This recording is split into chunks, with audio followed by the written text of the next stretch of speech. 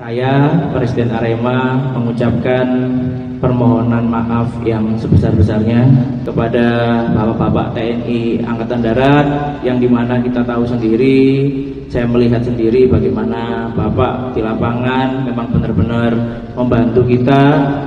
banyak membantu menyelamatkan nyawa kita. Kalau nggak ada Bapak TNI AD malam hari itu juga mungkin akan banyak